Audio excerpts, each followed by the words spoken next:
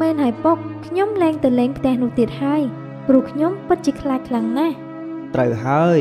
កូនមិនត្រូវតាក់ទងជាមួយនឹងកូនស្រីខេម៉ាទៀតទេណាពុកប្រាប់ឲ្យហើយព្រោះពុកខ្លាចកូនមានបញ្ហានឹងណាចាពុកកូនដឹងហើយកូននឹងស្ដាប់សម្ដីរបស់ពុកចំណែកឯគ្រីស្តាល់បាននិយាយជាមួយនឹងម្ដាយរបស់នាងថាម៉ែមិនក៏ខាលីធ្វើរឹកពីចម្លែកដាក់កូនខ្លាំងម្ល៉េះតើមានរឿងអ្វីចំពោះនាងទៅ តើមានរឿងអ្វីចំពោះគ្រួសាររបស់នាងទៅ មកពីអ្វីទៅកូនស្រី កូននិយាយប្រាប់ម៉ែមកណាកូន គឺនៅពេលដែលខាលីមកលេងជាមួយកូននោះនាងបានប្រាប់កូនថា នាងបានឮសំឡេងអ្នកណាហៅឈ្មោះកូន ចេញពីអណ្ដូងនោះតើពិតជាមានរឿងអ្វីនៅអណ្ដូងនោះមែនទេអ្នកម៉ែមិនពិតទេណាកូន ខាលីចេះតែនិយាយផ្ដេសផ្ដាស់ហើយម៉ែមិនបានឮសំឡេងអ្វីចេញពីអណ្ដូងនោះទេ ខេម៉ាបាននិយាយប្រាប់កូនស្រីរបស់គាត់បែបនេះក៏ដោយសារតែមិនចង់ឲ្យនាងខ្លាចតែប៉ុណ្ណោះកូនកុំគិតច្រើនអីណាគ្រីស្តាល់កូនធ្វើតែធម្មតាទៅគ្មានរឿងអ្វីកើតឡើងនោះទេ ចាម៉ែកូនលេងឆ្ងល់ទៀតហើយតែប៉ុននេះខាលីប្រហែលជាលេងហ៊ានមកលេងជាមួយនឹងកូនទៀតហើយមើលទៅមិនអីទេកូនកុំតែខាលីយល់នោះទេ ហើយនាងច្បាស់ជាមកលេងជាមួយកូនដូចដើមវិញនោះហើយព្រឹកស្អែកក៏បានមកដល់ គ្រីស្តាល់បានទៅលេងក្បែរអណ្ដូងនោះដដែលហើយមិនយូរប៉ុន្មានគ្រីស្តាល់ក៏បានមកដល់ហេតុអីមិនឃើញខាលីមកអញ្ចឹងឬមួយនាងខ្លាចលេងហ៊ានមកតែដឹងនេះឯងមកហើយឬនៅនឹងខាលីគ្រីស្តាល់បានរងចាំមើលខាលីតែនៅតែមិនឃើញខាលីមកនោះទេហើយគ្រីស្តាល់ក៏បាននិយាយតែម្នាក់ឯងថាហេតុអីក៏ខាលីធ្វើចរិតប្លែកៗដាក់ខ្ញុំបែបនេះឬមួយក៏នាងស្អប់ខ្ញុំហើយទេដឹង ស្រាប់តែពេលនោះមានសំឡេងមួយបាននិយាយទៅកាន់គ្រីស្តាល់ថាកុំគិតច្រើនអីណាកូនស្រីឯងគឺជាក្មេងល្អគ្មានអ្នកណាគេស្អប់ឯងនោះទេសំឡេងអ្នកណាហ្នឹងអ្នកណាហ្នឹងអូប្រហែលសំឡេងនេះហើយដែលខាលីបានឮនោះតើអ្នកណាកំពុងតែនិយាយហ្នឹងគឺយើងនៅក្នុងអណ្ដូងនេះ ហើយឯងក៏ជាចំណែកនៃម្ចាស់អណ្ដូងនេះដែរថាម៉េចម្ចាស់អណ្ដូង តើអ្នកកំពុងតែនិយាយពីអ្វីហ្នឹងហើយតើអ្នកមិនដេចក៏ទៅនៅក្នុងអណ្ដូងនោះបានអញ្ចឹងអត់ទេ យើងមិនមែននៅក្នុងអណ្ដូងនេះទេ យើងនឹងឯងគឺជាម្ចាស់តែមួយនឹងណា ហើយយើងក៏មិនមែនជាខ្មោចដែរតើអ្នកមានបំណងអ្វីចំពោះម៉ែហើយនឹងខ្ញុំយើងគឺជាអ្នកតាមថែរក្សាឯងនឹងណា ហើយយើងក៏មិនចង់បានអ្វីដែរតែបើឯងចង់បានអ្វីក៏និយាយប្រាប់យើងមកចុះយើងនឹងឲ្យអ្វីគ្រប់យ៉ាងឲ្យទៅឯង នេះពិតមែនឬហេតុអ្វីក៏ម៉ែមិនដែលបានប្រាប់ខ្ញុំពីរឿងនេះអញ្ចឹងតើរឿងនេះវាយ៉ាងម៉េចទៅវិញទៅរឿងនេះឯងចាំសួរម្ដាយរបស់ឯងសិនទៅ យើងពិតជាពិបាកប្រាប់ឯងណាស់តែឥឡូវនេះ យើងនឹងឲ្យអ្វីទៅឯងទុកជាកាដូខាលីបានលួចមើលពួកគេហើយខាលីក៏បានដើរចូលមកនេះពិតជាមានរឿងចម្លែកបែបនេះមែនអញ្ចឹង គឺគ្រីស្តាល់មានន័យថាឯងជាបិសាចហើយហើយគ្រួសាររបស់ឯងក៏ចម្លែកទៀតផងគុំថាឲ្យពួកគេបែបនេះឯងគ្មានសិទ្ធនោះទេខេលីឯងនឹងហើយចម្លែករករឿងគេគ្រប់គ្នានោះយើងនឹងយករឿងនេះទៅប្រកាសប្រាប់គ្រប់គ្នានៅក្នុងភូមិនេះឯងចាំតែមើលទៅគ្រីស្តាល់ហើយគ្រួសាររបស់ឯងនឹងត្រូវអ្នកភូមិនេះបណ្ដេញចេញជាមិនខានគុំអីណាខាលីខ្ញុំសុំអង្វរឯង គុំប្រាប់អ្នកគ្រប់គ្នាអីណាសូមឯងយល់ថាពួកយើងគឺជាមិត្តនឹងគ្នាផងទៅមិនបានទេ មិនចឹងទេគ្រប់គ្នាប្រកាសជាត្រូវឯងនិងម្ដាយឯងធ្វើបាបគ្រប់គ្នាជាមិនខានហើយយើងមិនគួរណាមានមិត្តភ័ក្តិចម្លែកដូចជាឯងនោះទេគ្រីស្តាល់មិនចាំបាច់ទៅអង្វរនាងទេគ្រីស្តាល់ទុកឲ្យយើងចាត់ការនាងជាស់មនុស្សដូចជានាងអាក្រក់ខ្លាំងណាស់អណ្ដងក៏បានប្រើវេទមន្តដាក់ខាលីផងដែរ វេទមន្តសូមឲ្យក្មេងស្រីម្នាក់នេះបាត់ការចងចាំភ្លាមទៅ អ្វីអ្វីដែលខាលីបានឃើញមុននេះ គឺត្រូវបានបំភ្លេចអស់ហើយនាងក៏ដួលសន្លប់បាត់ទៅ ចំណែកឯគ្រីស្តាល់ក៏ផិតភ័យខ្លាំងណាស់ដែរ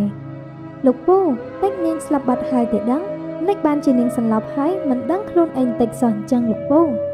កុំភ័យអីគ្រីស្តាល់នាងមិនដល់ថ្នាក់ស្លាប់នេះទេឯងកុំបារម្ភពេកអីយើង គ្រាន់តែលុបការចងចាំរបស់នាងតែប៉ុណ្ណោះបន្តិចទៀតនេះខាលីនឹងដឹងខ្លួនវិញហើយខ្ញុំខំតែភ័យព្រោះបើនាងយ៉ាងម៉េចទៅ អ្នកភូមិនឹងចោទប្រកាន់ថាខ្ញុំជាអ្នកធ្វើបាបខាលីជាមិនខានព្រោះខាលីនិងខ្ញុំពិតជាចិត្តដិតនឹងគ្នាខ្លាំងណាស់កុំបារម្ភចាប់ពីថ្ងៃនេះទៅ យើងមិនឲ្យអ្នកណាធ្វើបាបឯងនិងម្ដាយរបស់ឯងទៀតទេ យើងនឹងសន្យា ខ្ញុំពិតជាសំណាងណាស់ដែលមានអណ្ដងវេទមន្តជួយ កុំអីម៉ែនិងខ្ញុំប្រកាសជាត្រូវអ្នកភូមិធ្វើបាប ហើយដេញចេញពីភូមិជាមិនខាន មិនបាច់គួសមជាមួយខ្ញុំទេ ហើយឯងក៏ប្រញាប់ចេញពីទីនេះទៅកុំឲ្យអ្នកណាមកឃើញឯងនៅទីនេះ គេនឹងចោទប្រកាន់ឯងថាឯងជាអ្នកធ្វើជារំខាន ហើយឯងក៏មិនចាំបាច់និយាយប្រាប់អ្នកណាពីរឿងនេះដែរខ្ញុំដឹងហើយលោកពូខ្ញុំនឹងលាក់ឲ្យចិត្ត អញ្ចឹងខ្ញុំសុំលាពូសិនហើយព្រោះម៉ែចាំបាយខ្ញុំនៅឯផ្ទះផងទៅចោះគ្រីស្តាល់ជួបគ្នាពេលក្រោយណាគ្រីស្តាល់ក៏បានត្រឡប់ទៅផ្ទះរបស់នាងវិញ ក្រឡេកមកមើលឪពុករបស់ខាលីវិញ បានរងចាំមើលខាលីក៏ប៉ុន្តែមិនបានឃើញខាលីមកផ្ទះនោះទេហើយគាត់ក៏បាននិយាយថាតើខាលីទៅណាទៅថ្មនេះហើយនៅមិនទាន់ត្រឡប់មកវិញទៀតតើខាលីទៅណាហើយ តិចខាលីកើតមានរឿងអ្វីទៅពុករបស់ខាលីរងចាំយូរមិនឃើញខាលីមកគាត់ក៏សម្រេចចិត្តថាទៅរកខាលីយើងដូចជាមានអារម្មណ៍ថាខេលីដូចជាមានរឿងអ្វីមិនល្អហើយមើលទៅ យើងនឹងទៅរកខេលីឥឡូវនេះខេលីប្រហែលជាទៅផ្ទះរបស់គ្រីស្តាល់ហើយមើលទៅនិយាយហើយពុករបស់ខាលីក៏បានទៅរកខាលី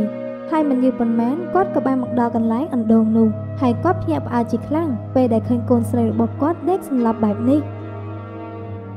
ព្រះអើយខាលីតើកូនមានរឿងអ្វីកើតឡើងនឹងម្ដេចបានជាកូនមកដេកនៅទីនេះទៅវិញខាលីខាលីកូនភ្ញាក់ឡើងកូនមានលឺពុកហៅទេពេលនោះខាលីក៏បានដឹងខ្លួនឡើងហើយនាងក៏បានសួរទៅកាន់ពុករបស់នាងថាពុកតើមានរឿងអ្វីកើតឡើងនឹង ហេតុអ្វីបានជាខ្ញុំមកនៅត្រង់នេះទៅវិញពុកសួរកូនវិញបានត្រូវហេតុអ្វីបានជាកូនមកនៅត្រង់នេះទៅវិញហើយមិនបានឃើញអ្នកណាមកទីនេះទៀតឯងមិនស្រួលខ្លួនទេអីខេលីខ្ញុំក៏មិនដឹងថាមានរឿងអីនោះទេពុកព្រោះខ្ញុំចាំអ្វីមិនបាននោះទេឯនេះត្រូវចេះប្រយ័ត្នខ្លួនផងថ្ងៃក្រោយក៏បីមានរឿងបែបនេះកើតឡើងទៀត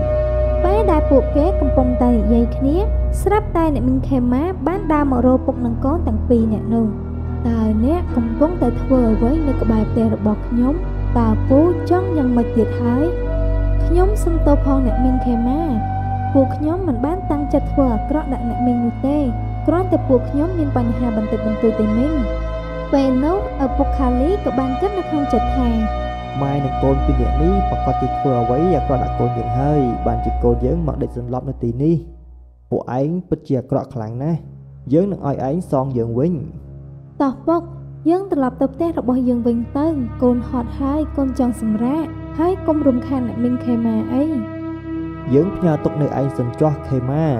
ថ្ងៃណាមួយយើងនឹងមកជំរះបញ្ជីជាមួយឯងតែម្ដងនេះពូនិយាយអ្វីហ្នឹង ពួកខ្ញុំមិនបានធ្វើអ្វីកូនលោកពូឯណាពូមិនលឺកូនរបស់ពូនិយាយទេអីមែនហើយពុកពួកគេមិនបានធ្វើអីកូនឯណាតោះពួកយើងប្រញាប់ទៅផ្ទះវិញទៅកុំររឿងអ្នកមីងខេម៉ាអីតោះពុកខាលីមានគំនុំគុំគួននឹងអ្នកមីងខេម៉ាជាខ្លាំងហើយគាត់រិះរកគ្រប់វិធីដើម្បីសងសឹកចំណែកឯគ្រីស្តាល់រងចាំម្ដាយរបស់នាងនៅឯផ្ទះហើយនាងក៏បាននិយាយថាតើម៉ែបាត់តាណាទៅ គាត់ថាចាំបាយខ្ញុំ តែមិនឃើញគាត់នៅផ្ទះអញ្ចឹងតើម៉ែទៅណាចេះពេលនោះអ្នកមីងខេម៉ាបានដើរមកផ្ទះវិញហើយគាត់បានឃើញកូនស្រីរបស់គាត់កំពុងតែរងចាំគាត់នៅឯមុខផ្ទះអ្នកម៉ែខេម៉ាម៉ែទៅមកពីណា កូនចាំម៉ែមួយសន្ទុះហើយណា គឺម៉ែទៅតែមកពីអណ្ដូងរបស់យើងនឹងណាកូន ហើយកូនមកតាំងតែពីពេលណា ថាយ៉ាងម៉េចម៉ែទៅក្បែរអណ្ដូងទឹកនោះ តើមានរឿងអ្វីកើតឡើងនៅទីនោះទៅម៉ែម៉ែទៅក៏បានឃើញពុកកូនទាំងពីរអ្នកនោះ នៅឈររេរាពេញទៅនឹងតើពួកគេចង់ធ្វើអ្វីទៅនៅម្ដុំនោះ មិនមែនគេមកចង់ធ្វើបាបម៉ែកូនយើងទាំងពីរអ្នកទេអីអូប្រហែលជាខាលីមករកកូនហើយពុករបស់នាងមកតាមនាងទៅផ្ទះវិញទៅដឹងម៉ែព្រោះពុករបស់នាងមិនចូលចិត្តពួកយើងស្រាប់ទៅហើយប្រហែលជាអញ្ចឹងហើយកូន តែម៉ែសុំផ្ដាំកូនឲ្យហើយណា ហាមទៅរញ៉េរញ៉ៃនឹងពុកកូនទាំងពីរអ្នកនោះឲ្យសោះណាគ្រីស្តាល់រឿងហ្នឹងកូនដឹងហើយម៉ែម៉ែធ្វើដូចនឹងស្គាល់កូនអញ្ចឹងកូនឯណាចេះតែរករឿងអ្នកដតីនោះ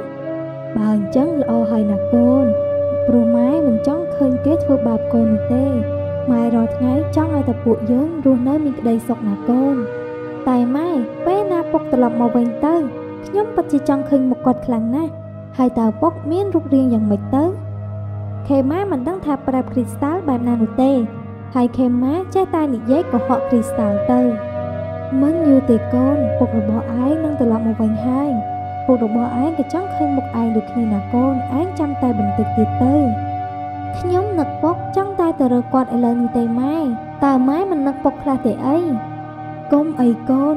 កុំទៅណាចោលម៉ែទៀត ចាំស្អែកម៉ែនាំកូនទៅលេងក្នុងព្រៃមើលសត្វព្រៃហើយនឹងមើលផ្កាណាកូនទុកជាការលួងចិត្តជំនួសពុកឯងទៅចុះម៉ែនិយាយមែនអីកូនចង់ទៅស្រាប់ហើយតែម៉ែមិនដែលនាំកូនទៅម្ដងណាសោះអញ្ចឹងថ្ងៃស្អែកនេះពួកយើងបានទៅលេងនៅទីនោះហើយម៉ែបន្ទាប់ពីពួកគេនិយាយគ្នាហើយពួកគេក៏ទៅសម្រាប់អស់ទៅព្រឹកស្អែកក៏បានមកដល់អ្នកមីងខេម៉ាបាននាំកូនស្រីរបស់គាត់ទៅលេងនៅក្នុងព្រៃមួយ ហើយមិនយូរប៉ុន្មានពួកគេក៏បានមកដល់ម៉ែនៅទីនេះមែនទេម៉ែដែលម៉ែចង់នាំកូនមកលេងនោះត្រូវហើយគឺនៅទីនេះហើយណាកូនព្រោះកាលពីម៉ែស្គាល់ពុកឯងដំបងគឺនៅទីនេះឯងពិតមែនឬម៉ែតើម៉ែនិយាយពិតមែនទេមែនហើយកូនស្រីទោះបីជាពុកឯងមិននៅក៏ដោយម៉ែមានអារម្មណ៍ថាពុករបស់ឯងនៅក្បែរពួកយើងជានិច្ចណាកូន គ្រីស្តាល់កូនស្រីគ្រីស្តាល់កូនម៉ែតើម៉ែមិនឮសំឡេងអ្វីទេអត់ទេគ្រីស្តាល់ម៉ែមិនបានឮសំឡេងអ្នកណាទេនេះកូនស្ដាប់ច្រឡំទេដឹងប្រហែលហើយម៉ែ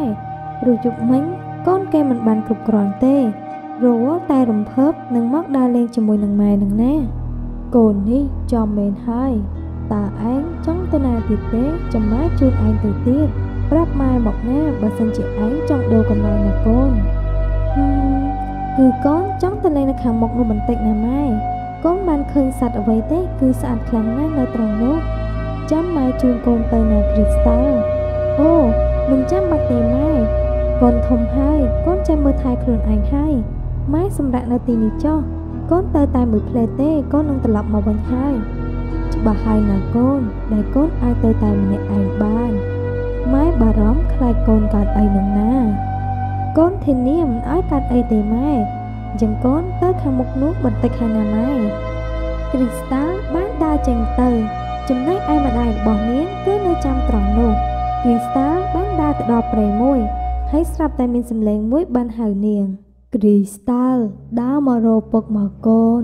គ្រីស្តាល់កូនគ្រីស្តាល់គ្រីស្តាល់ក៏បានដើរតាមសម្លេងនោះ រហូតមិនដឹងថាកន្លែងនោះគឺជាកន្លែងណានោះទេតើនេះជាកន្លែងណាទៅចុះឯណាម៉ែនោះនេះខ្ញុំដើរមកវង្វេងហើយទេអីតើផ្លូវចេញនៅខាងណាទៅគ្រីស្តាល់បានវង្វេងរកផ្លូវចេញពុំបាននោះទេនាងបានវង្វេងនៅទីនោះចំណែកឯអ្នកមីងខេម៉ាបានរងចាំកូនស្រីរបស់គាត់ឡើងយូរតែពុំឃើញនាងត្រឡប់មកវិញនោះទេ